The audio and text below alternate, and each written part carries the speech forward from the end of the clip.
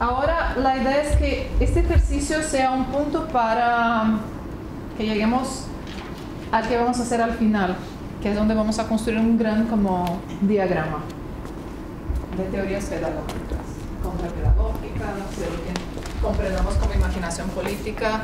Pero para hacerlo hay que deshacerse de un par de cosas, ¿no? Hay que soltar un montón de cosas. O sea, ¿tienen un par de hojas? Sí. Algunos más, algunos menos. Si quieren, hay al- a, su lado otras. La idea es que a su tiempo, en su ritmo, empiecen a deshacerse de las cosas malas, de las cosas pedagógicas, de las cosas que no le gustan y que puedan lanzarse, lanzárselas al medio, al centro, ¿no? Así como, ¡fuf! con estas hojas. Así como...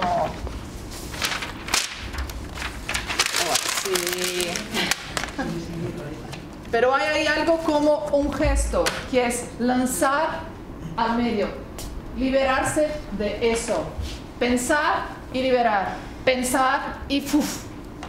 y soltar. No cargarlas más. ¿Ok? ¿Sí? Cuando quieran. No, la palabra está en el papel, pero no está escrita.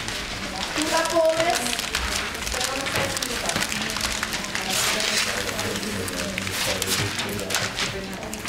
Hay que pensar en que a veces somos más suaves, ¿no? Sutiles, entonces somos como explotar y irse. A veces necesita más violencia, pero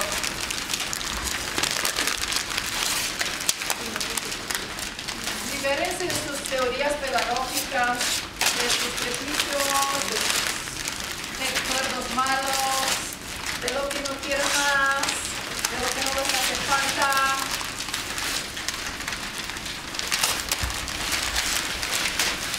No me restó a la mierda, ¿no?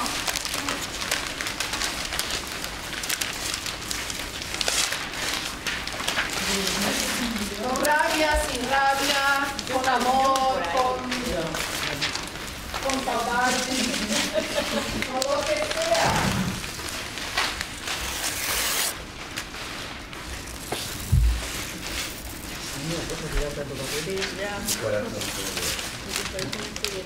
Todo lo que sea. Celebren el fin, celebren la muerte. Hay que mandárselos a la mierda, ¿no? Docentes, profesoras, maestras, estudiantes, gestores, gestoras, artistas, toda la mierda acá. Manden sus teorías a la mierda, por favor.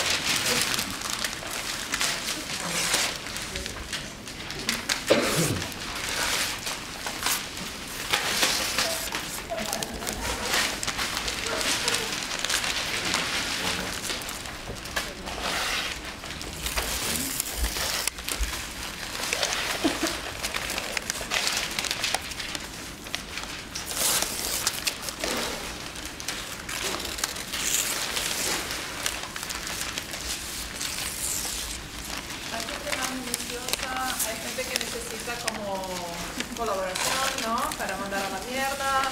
Hay de todo.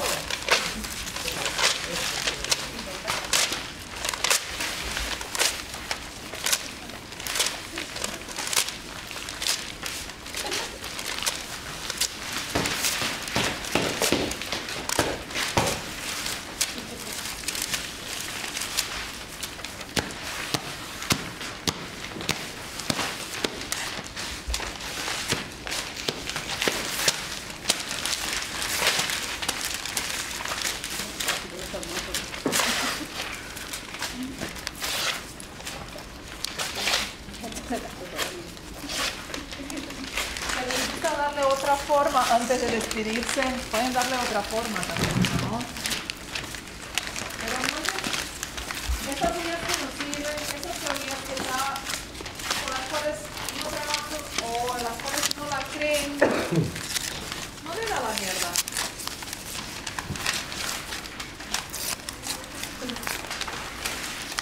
Produzcan calor, ¿no? Adiós. que coger uno. En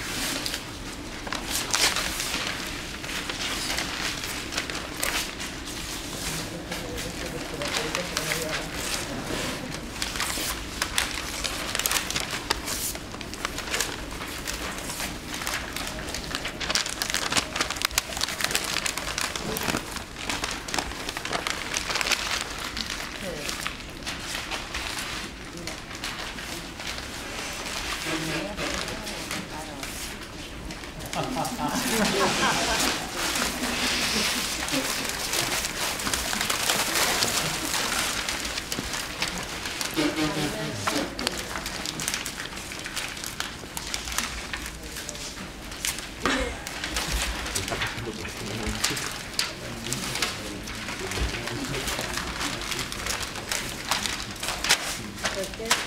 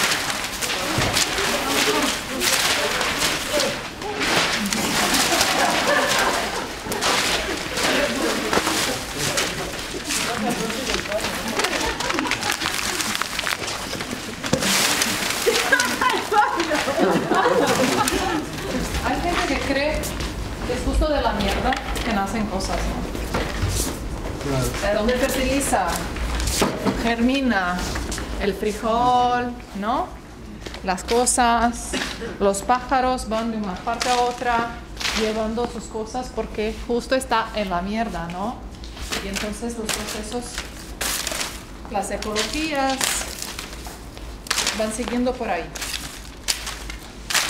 Ahora lo que les quiero proponer, y es como juntar todo, es, bueno, primero liamos el pensamiento, ¿no? Liamos ese circuito que tenemos. Después, como recordar estas memorias y cosas todas vividas. Entonces, intentar encontrar eso en el cuerpo, ¿no? Darle cuerpo una vez más. Y ahí nos fuimos a este juego cómo compartir, desprivatizar y entonces deshacernos de las teorías todas. Ahora vamos a trabajar muy en serio, no quiero más jugar. Ah, ¿Qué sobra? ¿Qué queda de eso? ¿Qué ideas, qué otras cosas surgen de aquí? ¿Qué nos sobró? O sea, ¿qué nos está habitando ahora? Cuando pensamos en procesos de aprendizaje, en pedagogías o en contrapedagogías, ¿no? Pensando como las contrapedagogías de la crueldad, el heteropatriarcado, la normatividad, todas las palabras, todos los términos, todos los conceptos, gestos que compusieron este encuentro. ¿Cómo organizamos eso? ¿Cómo lo armamos? Como un pensamiento, ¿no? Que puede ser en el piso. ¿Podemos juntar todo acá? ¿Se puede hacer alrededor? Ahora, no vamos a hablar, no vamos a saltar, sino escribir, sino meter en hoja, sino intentar componer un pensamiento que sí es individual, pero también es colectivo. O sea, podemos meter todo acá.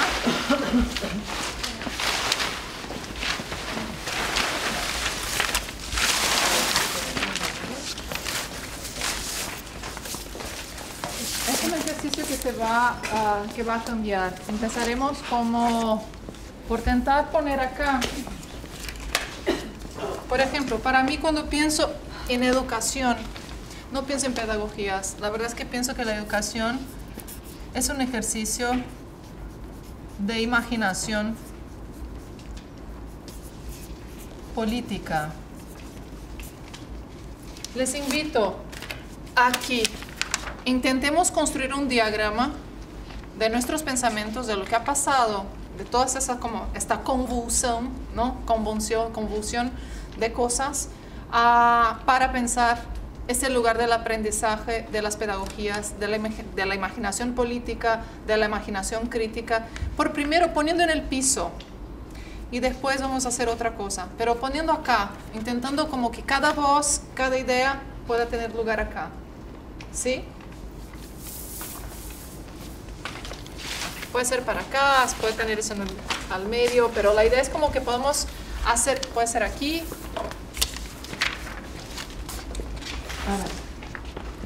para tener espacio.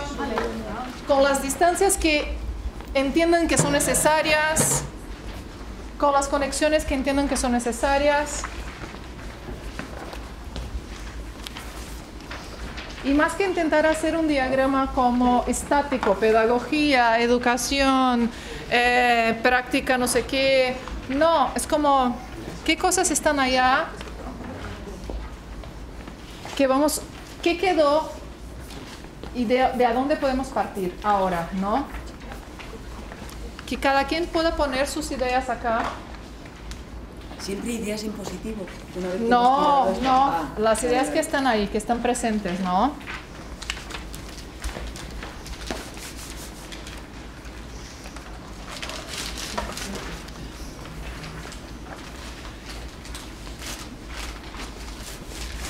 En general, cuando trabajamos o pensamos, como hablamos de procesos de colaboración, en la práctica, lo que pasa es que son, es una distribución de tareas, ¿no? Y no nos involucramos muchas veces desde cosas que nos marcan o que nos afectan personalmente. Y negociamos eso para generar algo que sea colectivo o común. Y la idea acá es justo como tomar todas esas cosas como que las atravesaron el cuerpo, ponerlas acá e intentar en un segundo momento construir un pensamiento o negociar entre estas ideas metiendo otras ideas para hacer conexión o no, ah, estableciendo como una relación con el espacio para justo construir un pensamiento. Más que conversar oralmente, o sea, conversar acá. Hacer preguntas desde acá. Dudar desde acá. Si no estás de acuerdo, hacer como una contraposición.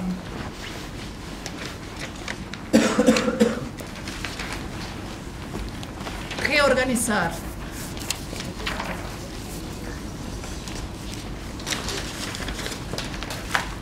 Si la educación es lo que podemos considerar la construcción del pensamiento, del conocimiento, para justo poner abajo el conocimiento, es algo que está siempre caminando, que es ambulante, que no cesa, que no para.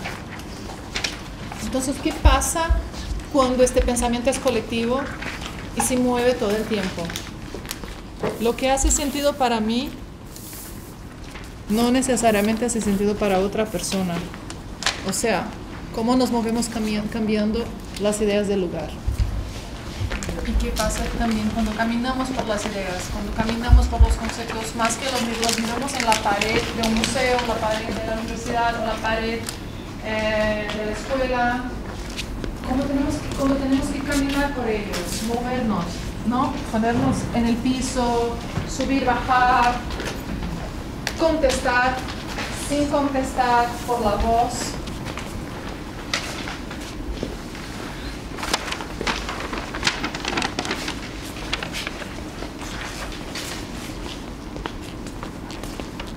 ¿Qué otras formas de organización podemos generar?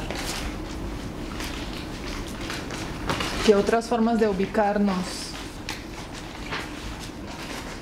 En la curiosidad, en la escucha, en la rabia, en el abrazo. ¿Qué queremos propiciar? ¿Desde qué idea de mentiras queremos hablar de la ficción? ¿O son mentiras? ¿O la educación es una mentira? ¿O estamos hablando de una ficción visionaria? ¿Hasta qué punto eso que de- deseamos y queremos, o bueno, o pensamos, lo llevamos? No, lo llevamos en nuestros cuerpos. Hasta qué punto construimos ejercicios mínimos, grandes, gigantes, largos, pequeños, para generar eso. ¿Alguien lo quiere reorganizar? Es un pensamiento colectivo. Podemos mover, demover, mover una vez más. Por ejemplo, yo creo que la empatía radical tiene que ver con la rabia y no con el amor pero también tiene que ver con afecto, afecto en un sentido muy amplio. Ya tenemos acá un par de ideas, un par de, bueno, eh, deseos, esperanzas, rabias, teorías, ¿no? Y ahora, ¿cómo nos movemos? Tenemos un, par, un mar de posibilidades, ¿no? ¿Cómo nos movemos en él? ¿Qué conexiones hacemos? Cuando hablamos de imaginación política, desde una mirada crítica, lo que estamos haciendo es como mezclar las cosas, pro, las cosas, probar las cosas y no seguir igual. Yo no creo en los modelos, no trabajo con modelos. A mí me parece que los modelos solo sirven a quien los hace. Los modelos son hechos por una persona para un par de gente. Yo no creo en eso. Yo creo que hacemos juntos. Y cuando propongo algo, un laboratorio, lo que sea, una clase, es para que podamos aprender juntos. O sea, yo me meto para, me meto para aprender también. Porque no me interesa solo poner las cosas. Entonces, intentemos el ejercicio de movernos acá.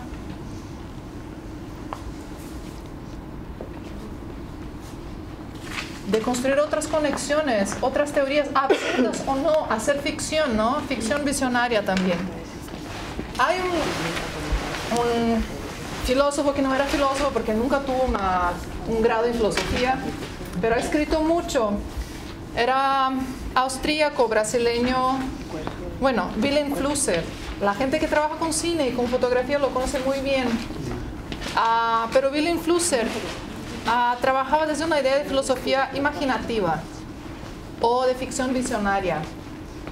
Él creía que lo que genera la realidad es el lenguaje y no es el contrario. La realidad genera o crea el lenguaje. No, el lenguaje crea la realidad. Y lo que crea el lenguaje es la poesía, o sea, nuestra capacidad de creación, nuestra capacidad de ficción. Creía que para cuando tenemos problemas, cuando no sabemos, no tenemos las respuestas, las encontramos construyendo, imaginando cosas, ficcionalizando. Y así es el mundo. Vivimos la ficción judicial, la ficción legal, la ficción religiosa, la ficción, todo es una gran ficción. Cuando hacemos pedagogía es ficción. ¿Cómo podemos hacer un ejercicio de ficción? ¿No? Estamos tan metidos en nuestros marcos duros, así como rígidos, de esta realidad que al final quien genera es la poesía, que no nos damos cuenta que podemos intentar construir, deshacer las cosas desde la poesía ella misma, ¿no? ¿Cómo? ¿Qué pasa? Se lo meto como el abrazo con algo que nada tiene que ver con el abrazo. ¿Qué cortocircuitos generan, no? ¿Qué posibilidades de generar pensamiento surgen de ahí? Que no estén dadas, que no estén marcadas por las realidades en las cuales estamos, estamos metidos. O sea, ¿cómo mantener eso también vivo? Para que estemos siempre intentando hacer ejercicios ¿no? de imaginación política.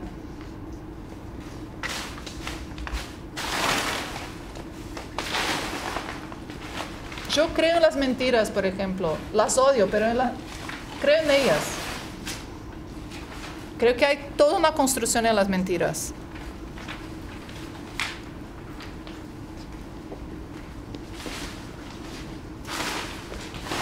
En general, hablamos mucho de hacer asociaciones no positivistas, pero las hacemos todo el tiempo, ¿no?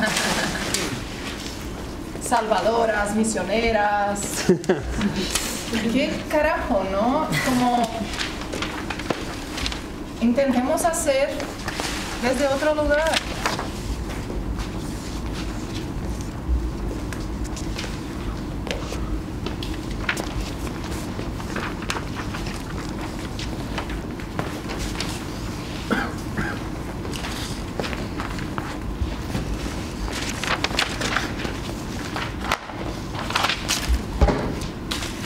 Nuestro pensamiento está tan condicionado, la manera como pensamos, que si yo les propusiera, hagamos conexiones absurdas,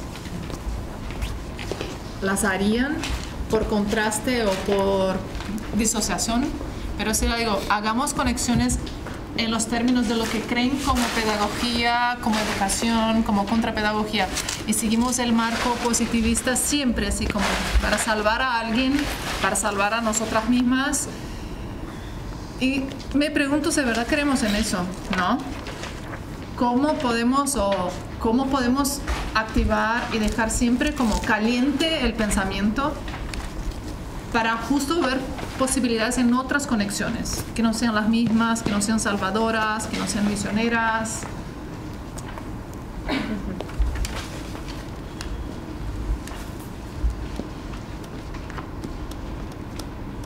Hablamos, por ejemplo, de escucha respetuosa, pero ¿y qué pasa si la, escucha no es?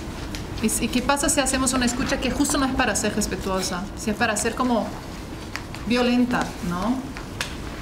¿Qué pasa si habitamos esos lugares a los cuales comprendemos como de incomodidad, de desconforto? O sea, si nos ponemos ahí a habitarlos y quizás a aprender a lidiar con ellos, ¿no? También. Hablamos mucho de incertidumbre, pero la verdad es que cuando hacemos nuestros talleres y clases y lo que sea, nunca damos espacios a la incertidumbre que no sea en teoría, ¿no? Hablando sobre eso. Nunca construimos un taller que no, al cual no encontremos un éxito al final. No cogimos el riesgo de que no haya éxito de acuerdo con parámetros los cuales ya conocemos muy bien. Pero si no hay riesgo, no cambia. La pedagogía se vuelve siempre dentro de un estado positivista, ¿no? Que hace así. Y a veces hacer así y caer, caer, está muy bien también. Porque hablamos mucho de calentización, desacelerar, no hacer, pero en la práctica hacemos todo de inmediato para tener un resultado, para tener un éxito, para cerrar, irnos a la casa y está muy bien, ¿no? Al final queremos estar felices y es legítimo, pero ¿cómo intentar poner eso que, creemos en teoría y que hacemos en la práctica? Porque la incertidumbre eh, está muy vinculada a la inseguridad y a los miedos ¿no? de la persona que está ahí, como entienden esa performance un poco de la, de, la experiencia de aprendizaje en colectivo. ¿no? Justamente ayer leíamos un fragmento también de Freire que, que, explicaba o reflexionaba un poco sobre cómo en esas situaciones los profes, maestros, eh, recurrimos a, diferentes formas de autoridad, ¿eh? no digo la vara de madera, pero recurres a posiciones de autoridad para solventar ese miedo a la incertidumbre, ¿no?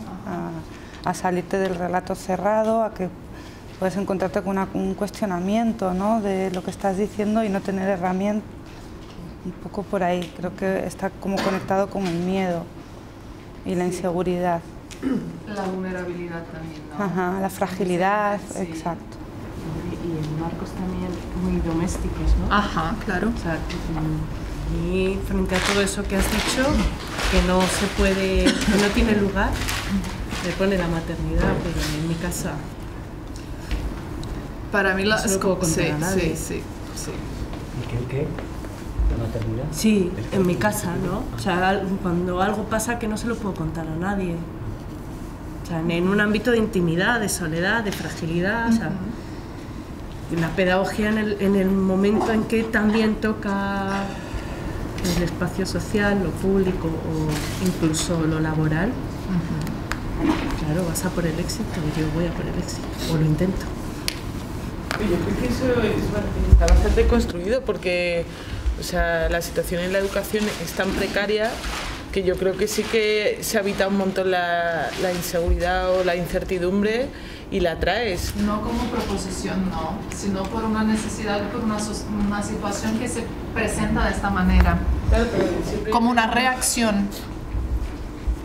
No sé si me... Perdón. Sí, sí, totalmente. Lo digo porque siempre hablamos de esto, de que no metemos la incertidumbre a la hora de... Pero es que ya está súper presente muchas veces, ¿no? Como que... Sí que, o sea, que la es inseguridad difícil. y la incertidumbre son cosas distintas, ¿no? Y una cosa, por ejemplo, es pensar los proce- procesos políticos, ¿no? Eh, estas, estos giros de derecha y todo, y la oposición como se, se pone, y, y los equívocos, y en general porque trabajamos desde de ideas de reacción, reaccionamos todo el tiempo. Reaccionar no es imaginar. No sé escuchar. Reaccionar es responder y a veces casi como de lo que sé y no de lo que puedo imaginar. Entonces cuando hablamos, por ejemplo, de la precarización, de la precariedad de la educación, de las escuelas, del, bueno, de la estructura, de las relaciones, es porque generamos o trabajamos desde ahí, ¿no? O sea, en el sentido de provocar eso, de habitar eso, sino que reaccionamos a eso por necesidad, por su- supervivencia y todo. La idea es, pero en teoría hablamos de todo lo contrario. Entonces, la idea es un poco pensar desde ahí cómo miremos a estos contextos y pasamos a darle la vuelta, porque no nos vamos a matar todos o a morir, ¿no? De desencanto. Al final es como, es, una, es algo muy optimista, no es pesimista. Es como, ¿y qué pasa? ¿No? ¿Cuál es la capacidad o hasta qué punto nos estamos metiendo en, en riesgo también? ¿Hasta qué punto cuando propongo cosas o laboratorios hago todo lo que tengo certeza? Casi nunca. Yo tengo una otra cosa, pero no me da ganas de hacer si no puedo probar, si no puedo vivir junta, si no puedo proponer algo y ver cómo hacemos juntas. O sea, ¿hay una matemática en eso? Hay, pero hay un riesgo gigantesco porque nunca hice antes. Y es muy difícil que trabajemos en eso, ¿no? O porque tenemos cobranzas o porque tenemos que dar cuenta de éxitos que son como institucionales.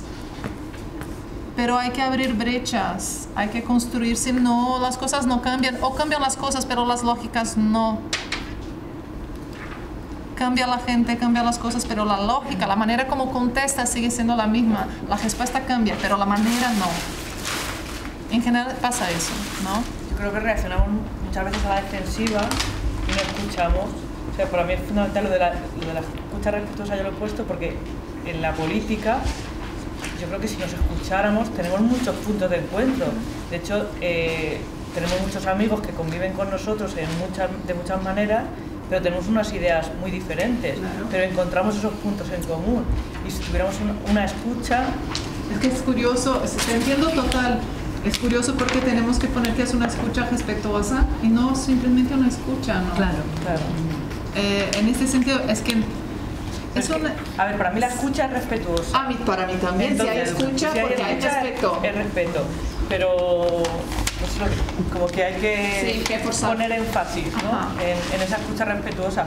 Y yo creo que eh, pues, la mayoría de los conflictos, en, pues en casi todos los espacios de la vida, eh, empiezan porque no nos escuchamos, porque queremos, lo que estás diciendo tú, reaccionar. O sea, y en la educación al final yo creo que hemos contado todos como cosas que, que como no nos hemos sentido escuchados, mm, las tenemos ahí como grabadas a fuego, ¿no?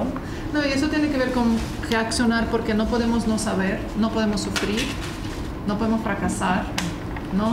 Es eso, por ejemplo, cuando hablamos de fracasar, ah, vamos a aprender a fracasar mejor. Fracasar mejor no es fracasar. Claro. No, fracasar es fracasar. Fracasar mejor es otra cosa, no es fracasar. No te pasa por el cuerpo, estás dominando el fracaso. Es, Lo yo que creo- pasa es que en el fondo, eh, ¿quién se pone en el lugar del fracaso, como dices?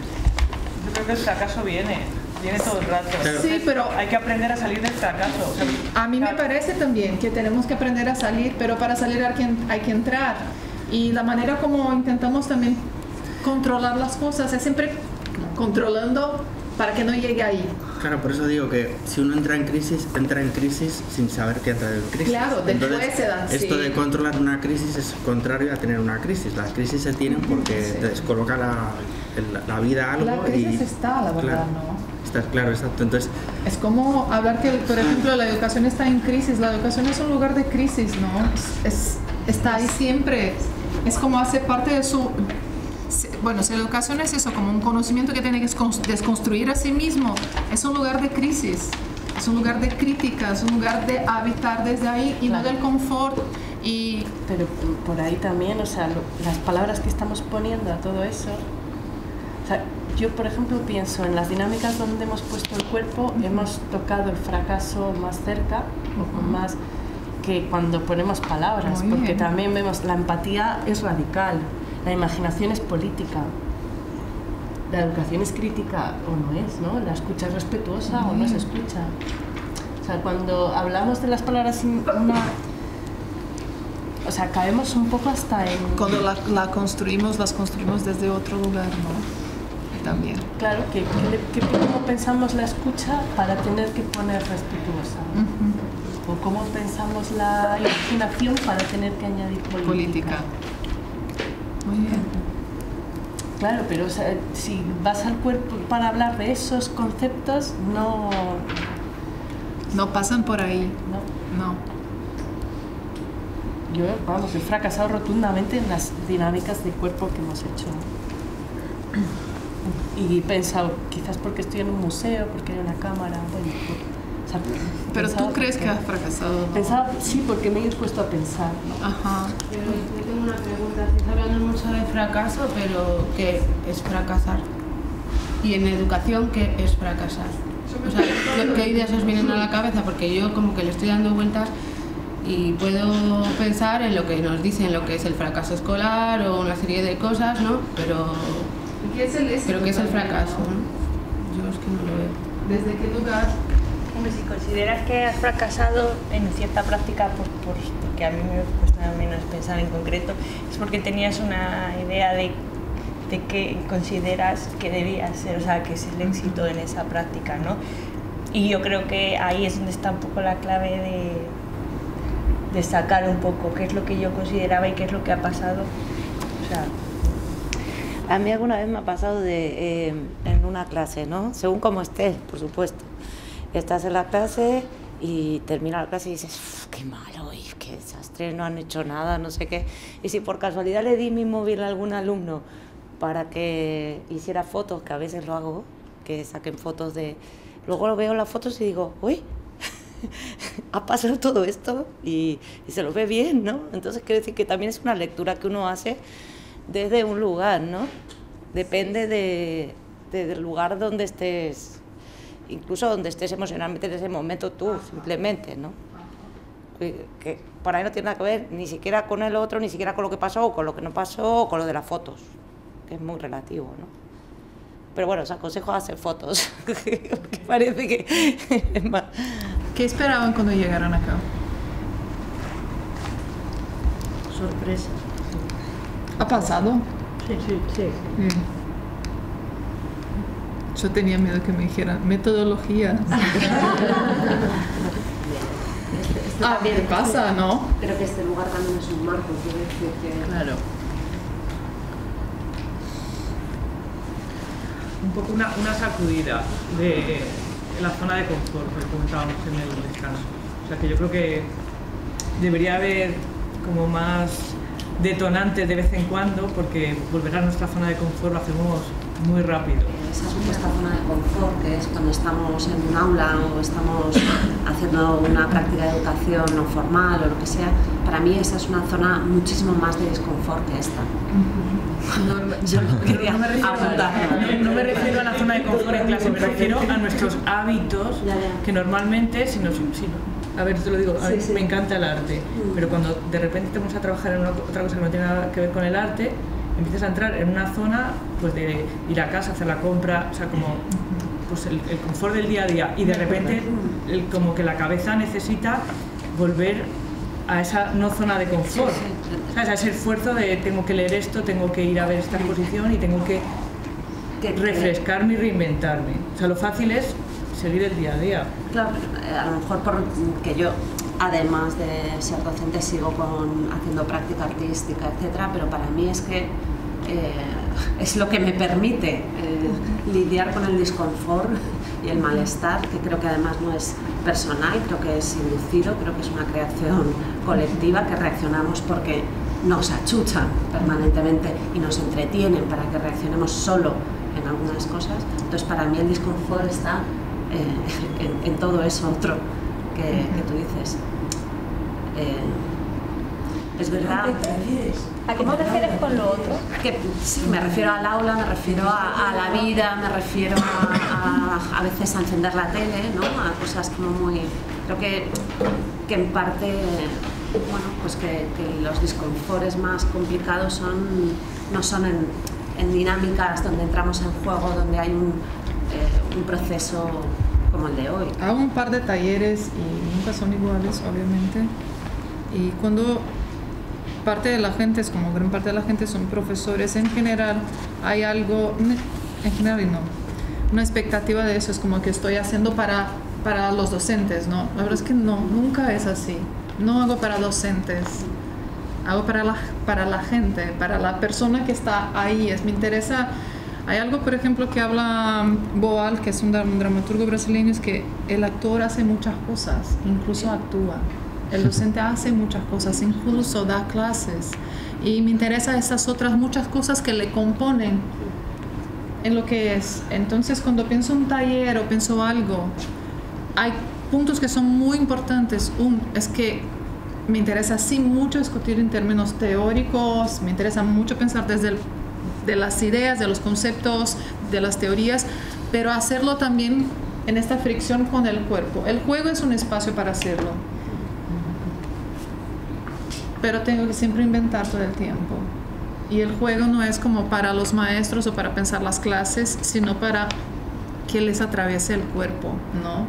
Que les como de golpe o cariño en sus cuerpos y en sus ideas y no es como para, por eso temía mucho que fuera como una expectativa de metodologías. Yo tampoco tengo ellas como escritas. Me propongo hacer cosas, cosas que, bueno, ¿puedes hacer eso? Sí. Entonces, ¿cuál es, el, ¿cuál es el espacio, no? ¿Cuál es el interés? A veces eso, me demandan algo, es como, ah, mira, dale, voy a pensar algo, me pongo a pensar algo para esta situación, el tiempo me hace, es, como, es muy importante, el espacio es muy importante, la gente es como mucha gente, poca gente, o sea, todos esos ritmos que componen este tiempo, este momento, esta estación en la cual estamos, ¿no? Y por eso también proponer cosas en las cuales no estoy enseñando, sino estoy aprendiendo. Intento enseñar, eso es lo que quiero aprender. O sea, investigar mientras estoy haciendo, ¿no? Hacer junto, compartiendo y al mismo tiempo eh, escuchando, generando estos espacios como que van y vienen, ir para volver todo el tiempo. Yo, hay algo que me ha pasado aquí con estas palabras, que es que ninguna me ha sorprendido. Ajá. O sea, como que me ha Pues, parecido, sí. o sea, lugares comunes, ¿no? Sí, No- justo por eso. Como... Pero y estas personas, ¿no? Qué bonito. Pues Para mí es que sois como Claro, bueno, pero... hiper familiares, ¿no? Mi, mi problema es explicarle a mi madre, ¿no? Ajá. la que me dedico. Pero está bien también, por ejemplo, quedé pensando mucho eh, cuál sería el orden ¿no? de proposiciones y, y si de- debería hacerlo al final o no, si debería hacerlo o no. Y me parece importante justo para ver que la- en general damos mucha potencia para eso y nos olvidamos. Y ahora nos sorprendemos que acá no hay sorpresa cualquier, ¿no? Que tal vez la sorpresa haya pasado antes. También a lo mejor está en el propio ámbito de la escritura. Ajá. La escritura, por ejemplo, hablar es distinto que escribir. Ah, total. Y a lo mejor escribiendo hay más previsibilidad de lo que se va a hablar. Más control también, sí. Pienso, ¿eh? Pienso, puede ser. También es más solemne, es que si te mandan a escribir, aunque te empujen a, a que tienes que desobedecer, a que tienes que ser... O sea, no. Al final hay una cosa como que hay que escribir algo que, pues, que tenga un peso, ¿no? Y hablar, pues si te pones a hablar a lo mejor te pones un poco... Sí. Yo no estoy de acuerdo que no haya sorpresas en este esquema. Ah, A mí, por ejemplo, me ha sorprendido que el compañero se pusiera en el medio. De esa manera, ¿no? A mí, personalmente, a lo mejor a algunas otras personas no, pero a mí sí, me ha sorprendido. Claro, pero ya no es la palabra, ¿no? Ya es otra cosa. Es otra cosa, entonces a mí me ha hecho pensar. Claro, claro. Como me ha hecho pensar en el, en el juego de antes del. No, y también como la, la, la dificultad que tenemos, por ejemplo, es de no hacer asociaciones, ¿no? O sea, asociaciones por... Es como poner una arriba a la otra, meterlas abajo, olvidarnos. Es que intentamos construir un pensamiento lógico, un algo, llegar a algún lugar. Así que, así que tendríamos que hacer el mismo como Está muy bien. ¿Cuáles vas a elegir para hacerlo? Yo... Eso porque no me gusta para nada. Que. Yo esa me abrazo con ella. así No me toques la mía, que no me toques la mía. Quería hacer un apunte con respecto a lo del cuerpo, porque, claro, para mí esto es un marco, y es un marco simbólico, o sea, que el cuerpo yo aquí lo he notado muy viciado. En cierta, o sea, que para que no es lo mismo eh, trabajar con el cuerpo eh, con profesorado de un instituto que trabajar con el cuerpo en un museo, en gente que ya trabaja con el cuerpo, o sea, que el cuerpo es ese dispositivo y tiene también esa memoria de lo que hacemos, de lo que no. Entonces, claro, este espacio también venía mar- para mí muy marcado corporalmente. Y es, muy, no- y es muy seguro también, ¿no? Sí. Para, para hacer ciertas prácticas. Para ciertas porque prácticas. Quizá, claro, esto en, en otros espacios, pues ahí habría muchísimo más riesgo. ¿no? Me gustaría Pero, que, plantearlo. por ejemplo, plantear hipótesis, ¿no? ¿Y qué pasa si trabajas con el cuerpo en el supermercado? O en la plaza, o en el metro, o pensar otros lugares que no son privados o cerrados, ¿no? Que no es la escuela como la sala de la escuela, o que no es, no es una sala como en un museo. O sea, ¿qué otros espacios se puede trabajar con el cuerpo, ¿no? Para pensar. Que me he dado cuenta que el discurso, los discursos alternativos en la educación que trabajamos muchas desde el arte está agotadísimo, ¿no? Como, Muy bien. como que eh, está, no, como que tenemos que ir a otro lugar, que se nos ha- han cansado las palabras o algo así, ¿no? Yo creo que Yo en ese sentido creo que el cuerpo sigue siendo una super respuesta. O sea, por ejemplo, a mí la sensación que me pareció del ejercicio del cuerpo en general es muy distinta a la tuya. Yo no siento que, yo no sentí cuerpos cómodos, como en general, como hace un tiempo que estoy yéndome a, por ejemplo, experiencias con bailarines y yo me he sentido muy incómoda porque los bailarines son muy cómodos con su cuerpo. Entonces cuando ellos se sueltan, se sueltan muchísimo. Y aquí como que yo no, no vi ese cuerpo cómodo a pesar del espacio. No estaba hablando de cuerpo cómodo, estaba hablando de un espacio de confort para los cuerpos que estábamos aquí. O sea, lo que no veía ese, es ese no confort en el trabajo con el cuerpo que se estaba planteando porque creo que mucha de la gente que estamos aquí trabajamos con el cuerpo, entonces, o sea que me parece que simbólicamente este espacio está muy marcado y también las personas que estamos aquí. Pero a pesar de eso, yo por ejemplo en el de la infancia he tenido un bloqueo, no, he podido- no he podido hacer nada. Claro, La verdad, eso tampoco he tenido como ganas, ¿eh? O sea, no, no, no, no, he hecho na- no, he hecho, no he hecho nada. O sea, a pesar de ser un espacio, yo ahí no, no me he Claro. sentido nada cómodo. O sea, no he hecho nada. Claro. A pesar de ser un lugar muy cómodo con gente como más o menos similar, el cuerpo sigue resistiéndose o sigue resistiendo. Sí, y eso es súper interesante. Yo he tomado conciencia de lo poco que necesito el cuerpo, o sea, de lo poco que uso el cuerpo y de lo poco que me gusta tocar y, y de lo poco que necesito moverme. O sea, yo con mover la mano no necesito, o sea, mi cuerpo para estar ahí tranquila.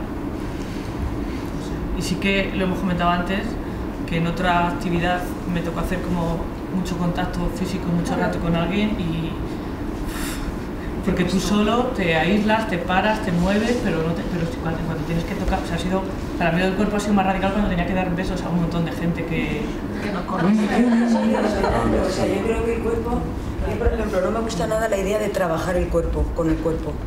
Me parece que cada persona tenemos, no sé, que cada persona tenemos una relación con nuestro cuerpo y hacia los cuerpos de las demás personas. Y una relación y una, eh, una relación de no querer tocar es una es una, otra cosa es que tú explores el cuerpo o que lo, pero la idea incluso de trabajar con el cuerpo o trabajar el cuerpo, yo no veo manera de no salir del cuerpo, sinceramente. Lo que pasa es que no entiendo por qué el paradigma tiene que ser el cuerpo expansivo, el cuerpo que toca, el cuerpo. Yo creo que hay, bueno, pues muchas. También creo que hay hasta un poco como de normatividad en eso. Yo muchas veces eh, eh, me siento como en ambientes con mucha normatividad en, en- en los que se espera una respuesta estereotipada de mm, cómo tengo que eh, cómo tengo que evolucionar con el cuerpo. Hay como una no sé si es algo compartido, lo lanzo aquí porque pienso que tiene que ver también con lo que dice Vito, con que al final estamos naturalizando unas maneras de respuesta del cuerpo porque también pensamos que las nuestras no son yo voy a ser más radical todavía. Yo no pienso que hay un cuerpo separado de la cabeza.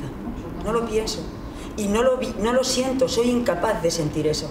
Entonces cuando se dice eso también yo me pongo en una situación de, ay Dios mío, ¿cómo se come eso?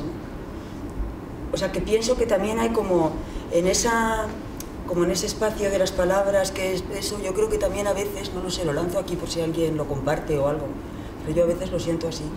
poner el cuerpo, claro, lo digo yo que estoy poniéndolo el cuerpo en el, en el mapa y todo. Yo también lo estoy poniendo. Sí, sí, sí, pero no, no necesitamos esa normatividad de darte cuenta que ponía, que, o sea, como que estamos todos hablando de- del cuerpo en esos términos para mirar a eh, la educación que yo he tenido, por ejemplo, era en un pupitre quietecito y el cuerpo productivo. Haz, haz gimnasia y toma seguridad social porque no quiero que estés enfermo y quiero que seas más o menos sanito para producirme en este sistema.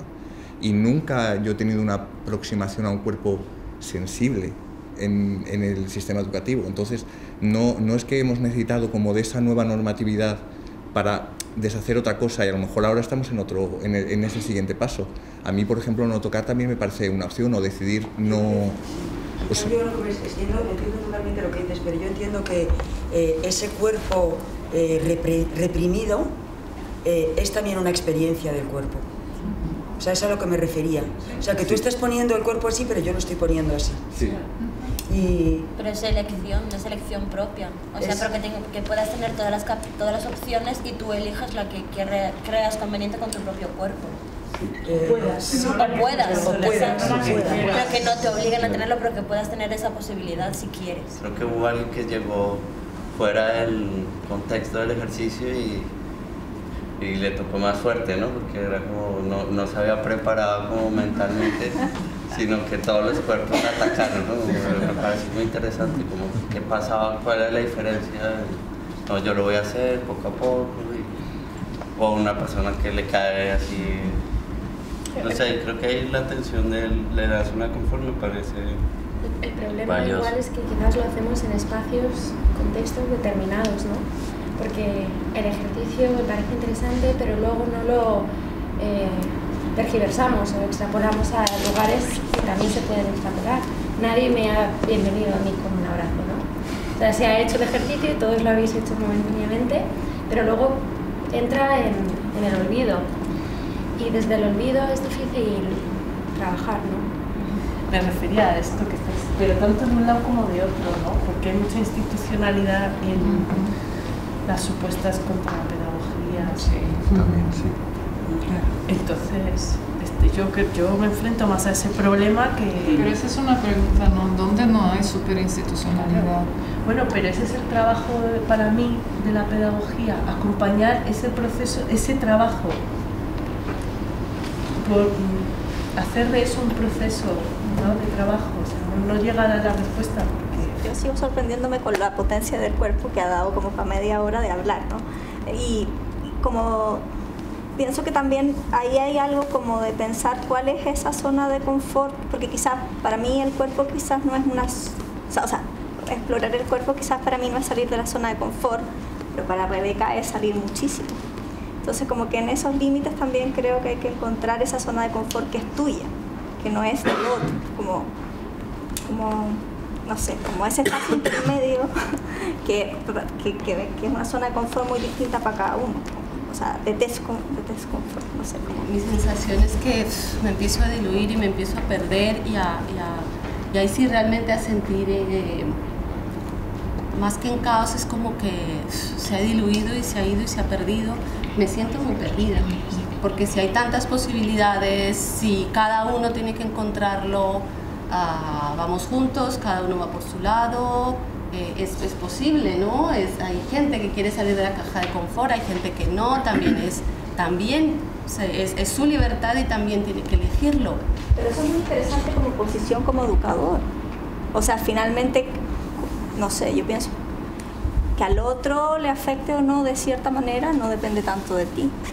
Pero tiene que ver con cómo yo, por ejemplo, no sé, me imagino que Mónica ha hecho este tipo de práctica porque ella ha pensado sobre su zona de confort y no confort.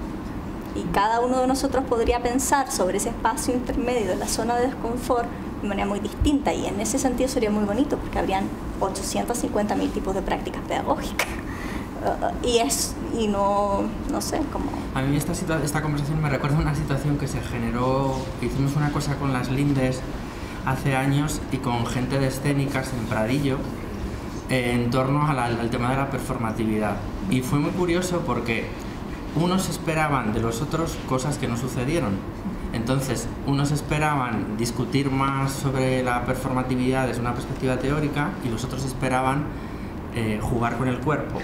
Entonces, de repente, hubo un momento en el que había como un rendimiento de cuentas. Bueno, yo así lo viví yo, no sé, que lo digan los demás que vivieron la situación. Entonces, todo el mundo rendía cuentas al otro de, ah, bueno, si te pones a jugar con el cuerpo, yo soy el que sé jugar con el cuerpo. Y si te pones a jugar con la teoría, el que sabe jugar con la teoría soy yo.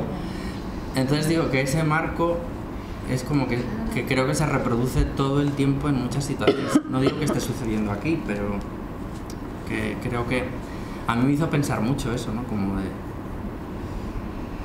O sea, como que hay un punto en el que... Sí, como que no nos desprendemos de... eh, totalmente de estar en confort o, o sea, como que... Esa situación me parece como muy clara. Además, yo creo que todo el mundo la recuerda negativamente, como fue un día entero además, que se supone que iba a ser mu- muy divertido y bueno, hubo momentos divertidos, pero, pero fue.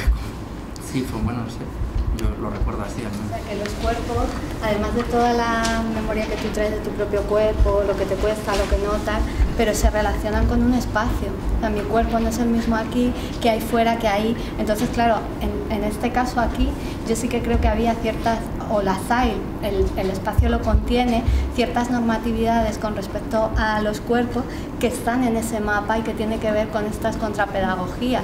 Y quizás aquí el cuerpo que se expone, el que está en el medio, el que se mueve, es un cuerpo que está en una zona más de confort que el que se queda quieto.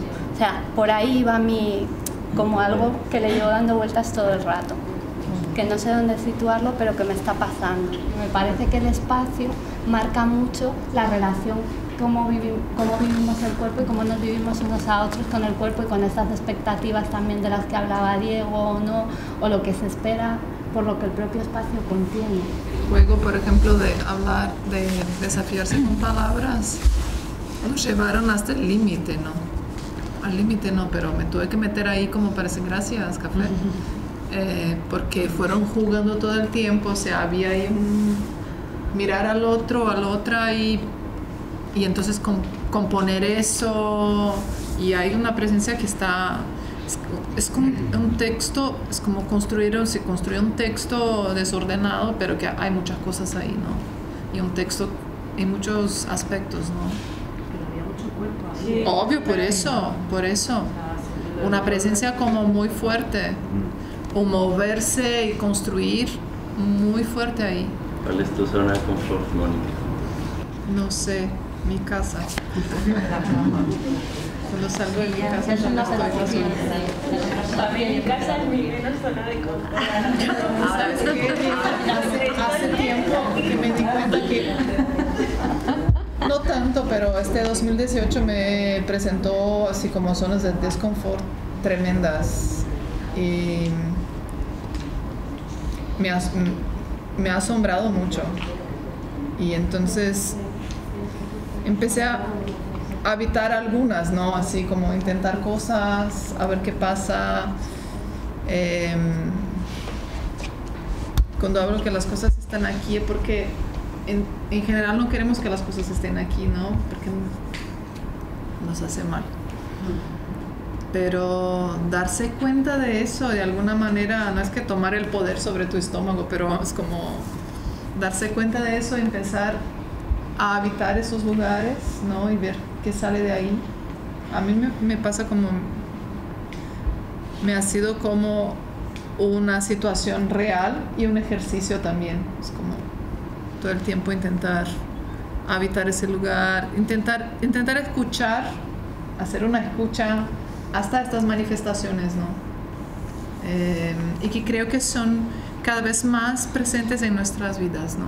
Es como manifestaciones como que vienen de la salud o que vienen como del bienestar o el malestar, eh, que salen en tu dedo, ¿no? Como una ansiedad o como una angustia, o sea, ¿cómo empiezas a mirar eso no como, como la medicina alopática, ¿no? Vamos a tratar y acabar con eso y ¡paf! No, ¿cómo empiezas a mirar la vulnerabilidad, la fragilidad, esos lugares, para de ahí pensar otras maneras. Porque justo en esta idea tan pues, como de educación o de pedagogía tan po- positivista que tenemos, estos lugares no pueden existir, ¿no? Y ahí me interesa justo que, bueno, sí están ahí, ¿por qué tratar de anularlos, negligenciarlos, silenciarlos? Claro, pues que simbólicamente algo que, que incluye el cuerpo y que hemos hecho todos de una manera muy silenciada es ponernos a hablar en torno a este círculo y no, Y a no este. de este, sí. Estamos ahí con... De espaldas. Claro. Sí. Pero es que la exigencia de éxito es muy fuerte. Entonces, por eso. Pero el éxito es, es también es una claro. construcción, ¿no? Claro, claro. La noción de éxito, Pero que a veces nos despistamos y nos dirigimos hacia esas exigencias. Sí. Entonces, parar y- sí, el éxito, la felicidad y esas cosas todas Claro. como que vienen como dentro de paquetes. Forma parte también del ser humano, porque Claro. de repente estás enfermo, el éxito es curarte. La educación o la... O sea, tenemos que construir, o sea, que digamos que tenemos que avanzar. cuando se, Pero se va alguien yo y estoy estás, de acuerdo, tienes sí. que pasar el duelo y vuelves a tu zona de confort otra Pero vez. es como curarte, ¿no? Sí. Es, es este, este cómo hacemos las cosas. Porque sí, el éxito es curarte. Pero ¿cómo curarte? A veces estamos tratando de curarnos siempre de la misma manera. Y de curarnos de cosas que desde no dependen afuera. de nosotros también. Entonces un poco en ese sentido de habitar, ¿no? Yo creo que no solamente es el espacio lo que nos condiciona eh, a nuestro cuerpo, sino también la colectividad, o sea, el, el cuerpo entendido como algo colectivo y en conjunto. Si todos nos movemos, que se queda quieto, te sientes incómodo, es, eh, ¿no? Y, si- y sin embargo, si eh, hacemos un ejercicio, o sea, sea en este, ahora mismo, o sea, en el aula, o sea, en otro contexto, eh, si todo el mundo tiende a estar sentado así, es como que te da miedo y quieres romper esa norma o quieres salir de ahí, te da miedo porque tendemos como seres humanos, yo creo, a, primero, necesitamos la aceptación del grupo, eh, porque el rechazo supone una especie de, muerte social y, ¿no? entonces tendemos a hacer lo que, lo que hace el grupo, el, el- entender el cuerpo no como algo individual de yo estoy separado de ti, sino todos somos un cuerpo.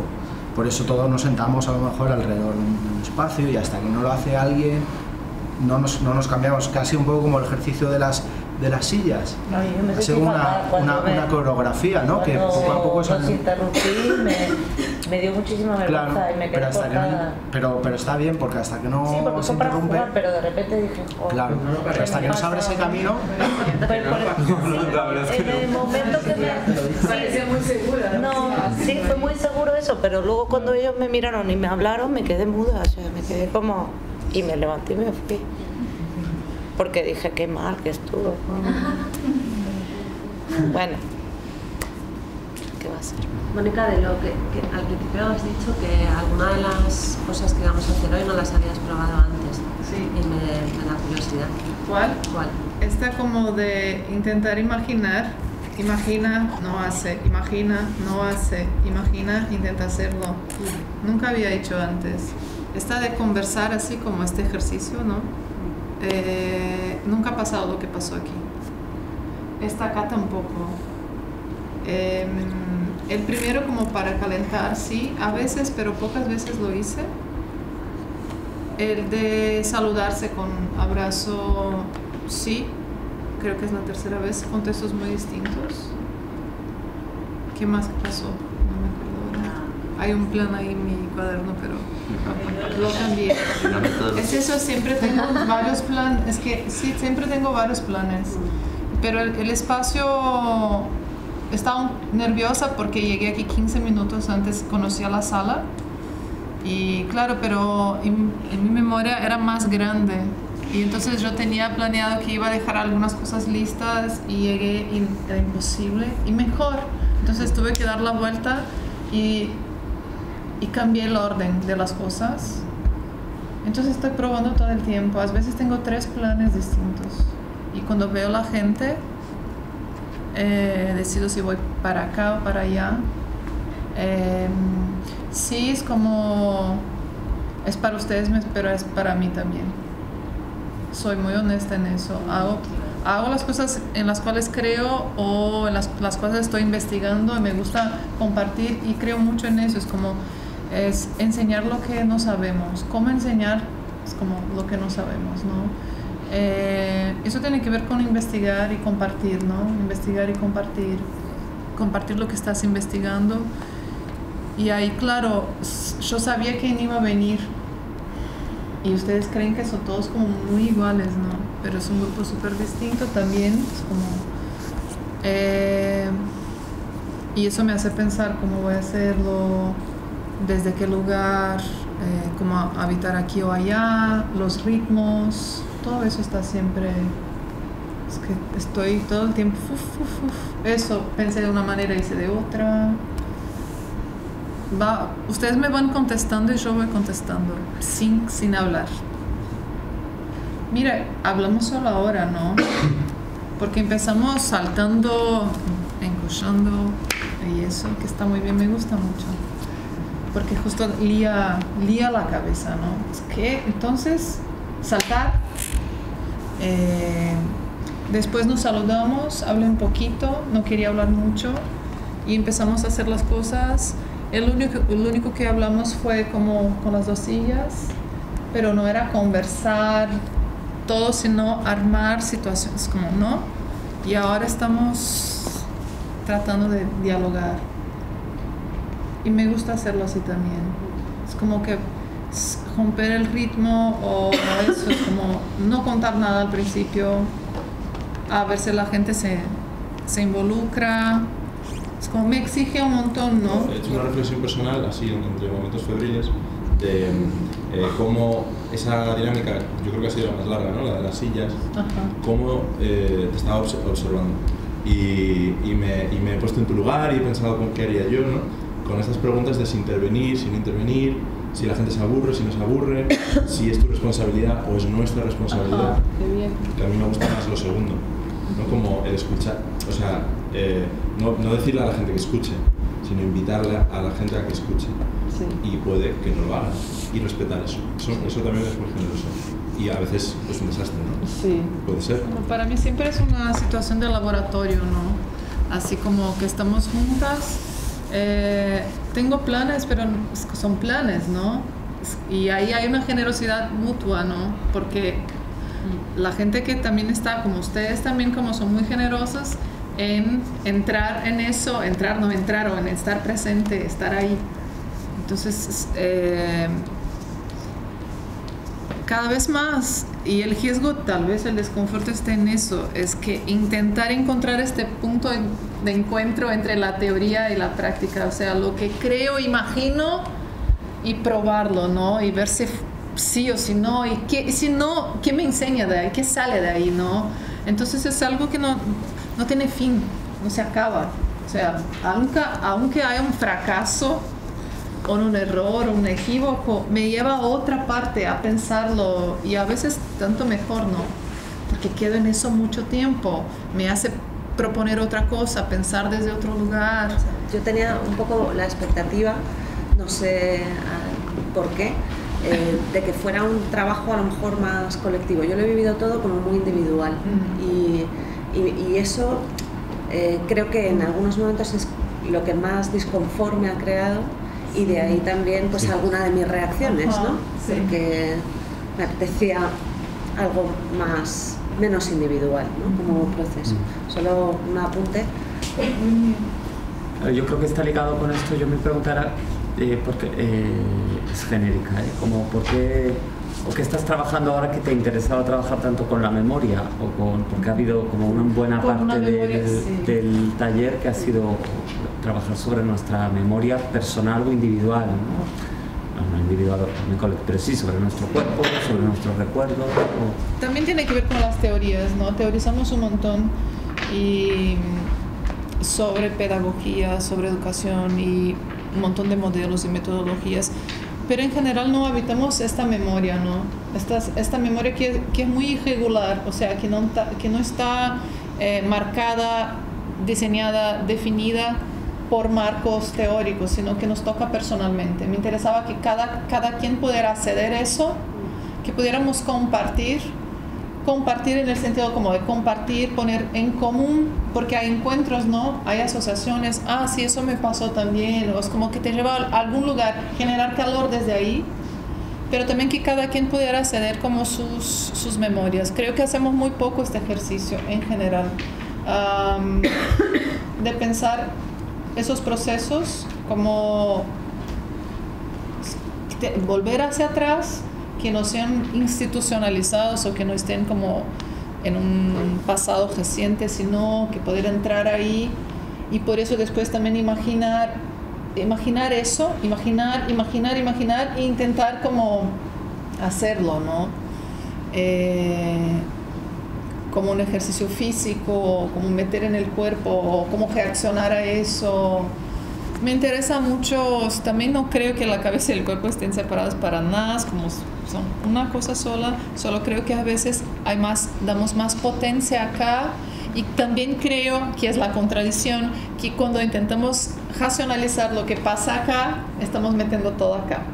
Eh, pero me interesa que podamos ir y volver todo el tiempo en eso, ¿no? Hacer este ejercicio, porque en general sí ponemos todo en una dimensión muy racional y no, no, nos damos cuenta de gestos o de memorias que, están, que pasan por el cuerpo o justo de leer estas, este malestar, este desconfort o por qué me pasa eso. O sea, mirar más, más a este lugar porque ese lugar contesta, está contestando al universo todo el tiempo, ¿no? Estamos contestando desde ahí. Y como no, no estamos tan metidos a pensar desde ahí, lo ponemos así, como déjalo ahí, ¿no? O intentamos curarlo muy rápidamente, ¿no? Es un poco como estar una, un niño febril. Muchas veces no somos, no somos conscientes de esa memoria que No. tenemos, pero nosotros cuando tenemos que eh, actuar y enseñar, o sea, al final nuestra genética, nuestro cuerpo está haciendo eso que tenemos en nuestra memoria, que no somos conscientes de ello, y, y cuando, y, y muchas veces resolvemos cosas como por inercia de cómo las hemos aprendido. Entonces, lo de la letra con sangre entra, como a nosotros nos lo han enseñado así, o sea, cuando no estamos despistados, ¿y esto cómo lo enseñamos? O sea, retomamos eso que tenemos ahí en nuestro cuerpo y decimos, toma, la letra con sangre entra. Por ejemplo, cuando, cuando mi hija empezó a dibujar las letras, porque siempre le encantó mucho las letras de las palabras, y empezó a dibujar como una, una constelación de letras, que me parecía muy lindo. Y cuando empezó entonces ese, ¿cómo se escribe eso? ¿Y por qué quieres saber? ¿Cómo se escribe el nombre Irene, su amiga? I-R-E-N-E. ¿Y por qué este dibujo corresponde al sonido y a Irene? O sea, me empezó a hacer un par de preguntas científicas, ¿no? Sí, como que, son, que es increíble porque nosotras, no, yo no tengo memoria, yo no me acuerdo de cuando empecé a, a construir lenguaje escrita, ¿no? Cuando empecé a leer y escribir. Pero cuando ella empezó, eso me produce una magia. ¿Y por qué el sonido del A es igual a este dibujo? ¿Y por qué el dibujo del sonido tiene que ser este? O sea, estas cosas todas, ¿no?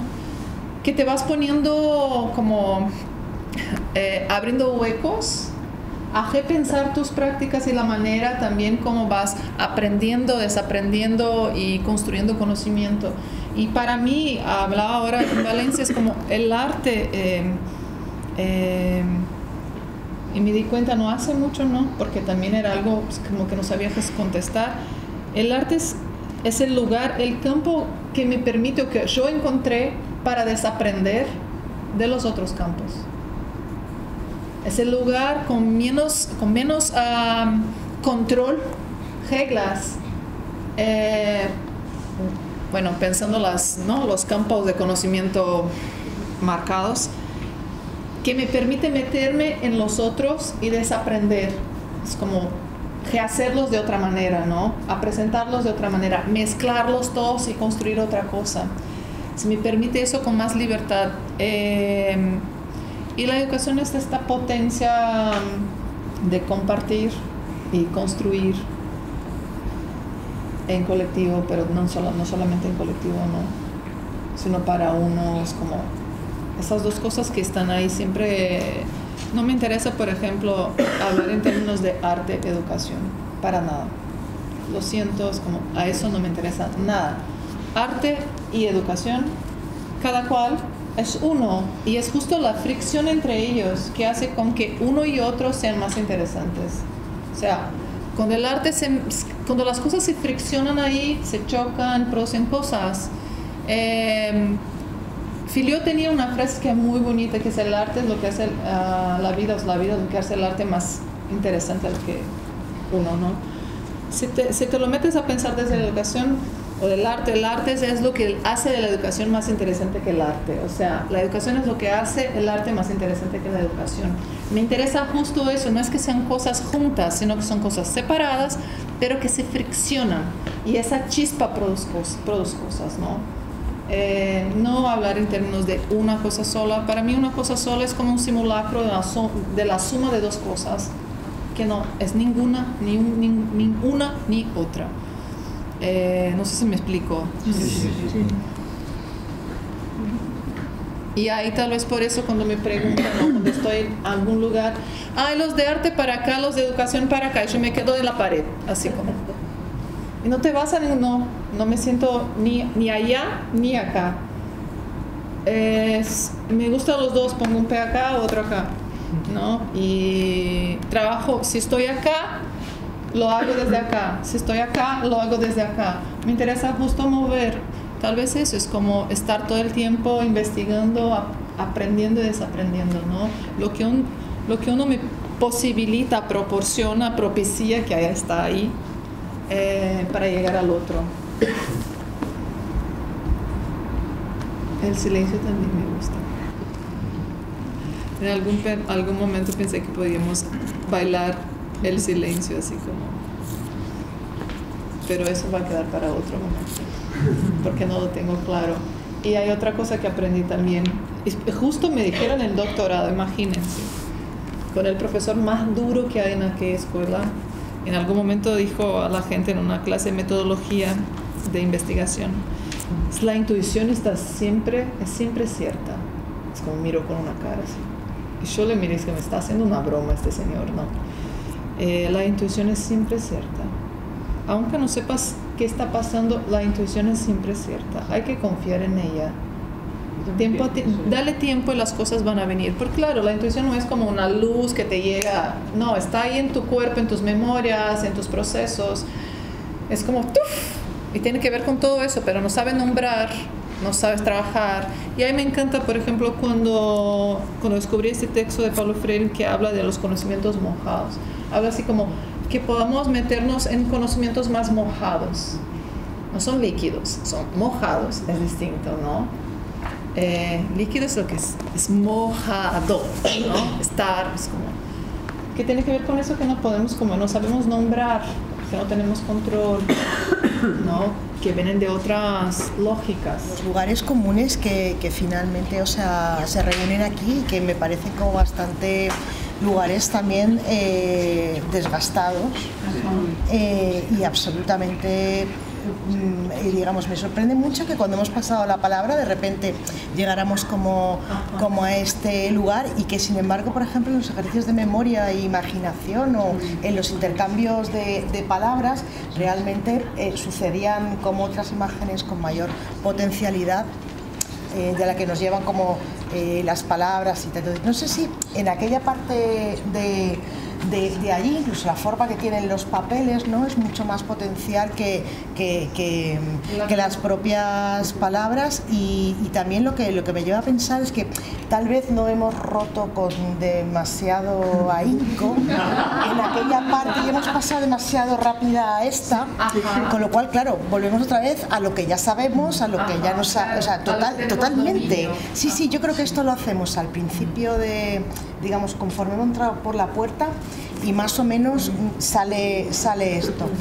Eh, entonces, claro, es como de repente decir, ojo, eh, realmente que, que, qué atrapamiento, ¿no? En los propios marcos con los que venimos al lugar también del centro de arte y tal, hacer un trabajo de contrapedagogía cuando eh, eh, en realidad hay otros eh, lugares, ¿no? Como los que acabamos de experimentar esta mañana contigo, que de repente eh, nos, mm, bueno, pues nos pueden eh, eh, parecer como eh, difíciles de hacer en lo individual y en, lo colectivo, pero que tal vez profundizando, dedicándoles como más tiempo, pues tal vez nos posibilitarían llegar a un lugar, desde luego, totalmente distinto al, marco que ya, conocemos, ¿no? En algún momento pensé, bueno, no, no hagamos, no vamos a hacer. O haremos al principio. Pero estaría bien hacerlo y ver qué pasa, cómo salen las respuestas, cómo lo comentamos y al final tenemos dominio, volvemos a los mismos lugares, ¿no? Entonces eso nos dice también cómo, cómo per- perder el dominio, ¿no? O hasta qué punto estamos, claro, no es un ejercicio fácil, pero hasta qué punto construimos brechas, pequeñas como situaciones para salir de este dominio, ¿no? Aventurarnos, sorprendernos a nosotras mismas. Eh, y claro, desde ahí, una vez más, pegar, pero salir. eh, bueno, Haciendo un ejército. hay un ejército. Bueno, tenemos que ir, es eso. Gracias. Pues muchas gracias.